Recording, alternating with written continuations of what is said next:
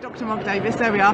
Now, one of the things I learnt in your session about video is lighting. Look at this Yep. lighting. Let's let's gently and gracefully walk forwards so that we we have better light. And that's that's not improving. we go, and boom. There we go. Now, I also learned we shouldn't have a background behind us. We should have like that background, what we Oh, can see in front of us. situation there. I say we're oh, coming no. this way. There we Go. Let's. We're just walking. This is so professional. This way. Uh, like, it's like having a little Joe gimbal. It's Yeah, awesome. like, there you go. There you go. Cool. There we go. There we are. So now you see, I'm getting a masterclass from the expert here. It must be I've never been called that before. Thank you. So, so Mark, tell us a little bit about what it is that you do.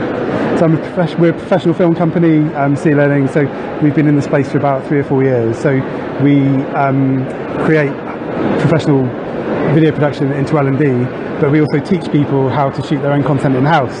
So people think that we're a bit mental, um, and like why would we give away our industry secrets and things like that? But it's actually such is the hunger for video in learning and development at the moment. Um, that people just don't have the budgets to sustain getting professionals in. So they want to get like um, yeah, they, they, they still want to get professionals in for like the high end stuff, but they want to have um, they still want to be, be able to do stuff internally on their, you know on their own, like that that need it now, need it right now kind of thing, Yeah. where they you know they don't want to go through the briefing process and they don't have the budgets, and so you know it's um yeah it's all going well. Yeah, almost a bit like this cheap and nasty kit that I've got you on right think good. now. And you got like nerves of steel, like rock solid, rock solid grip on the phone there. It's like just steady. feel my arm at the end of the day. It's like jelly. It's ridiculous. But I mean, this is it. There's an interesting point. We're standing here talking to each other and looking at the camera, which is very different from the kind of the framing that you suggested for your kind of your interviews just now. So, what was it you were suggesting that how Yeah. people frame the interviewer? Well, I think just so I think what we're doing now is awesome because like you know this is like going out live and it's like right now in the event, which is really really cool, and I, I and I and I love that sort of style. Um, with the framing that we were talking about earlier on, like it's just like how you frame an interview professionally.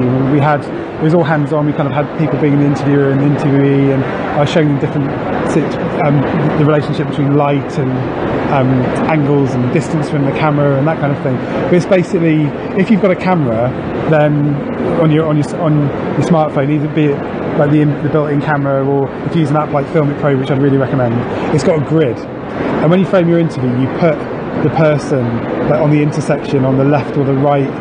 Actually, that's a little bit of where I've got you now set Yeah, up on yeah, this so like this, picture. yeah. So I, I'm on too much on the edge. Yeah. But I'm always on the edge. but there we go. If we come a little bit closer, you might not want me to. Yeah, so I'd be kind of like there you go. I'm kind of like here Yeah. talking across.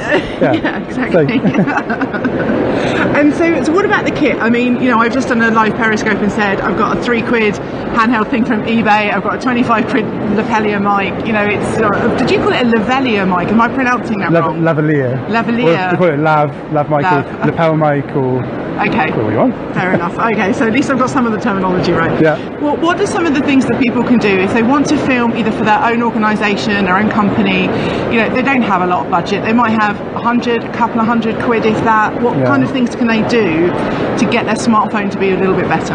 I would say if we went if we went for like 100 to 200 pounds, I would say we would go for um, a tripod to keep the phone on the to, tripod to keep everything stable. Yeah. Um, or like these gimbals are what you've got here is quite cool, but like generally speaking, a tripod, and you need a device to attach the camera to the tripod. So that's going to be like a um, you can get a, one of one of the things is called a Glif, or there's Joby that do that's J O B I, and they do. Um, it's basically a grip that puts you you put you put it on your phone and then that goes onto the tripod. So all of that could vary. You can get a tripod from anything from two from twenty to hundred pounds depending on what you want to get. Then the phone goes on that. Then after that, just like a lav mic like what you've got, like you know we're using available light. You know we've got you don't need a huge amount. And then if you want to just kind of like pimp it out from there, you can. I mean you can spend hundreds and thousands of pounds, or you can spend you can be up and rolling for like 100 to 200 quid. And the thing I, I will, as I said to people in there earlier on, it's just like don't worry about having it at Spiel, Spielberg professional quality. You know, Yeah, I certainly don't do that.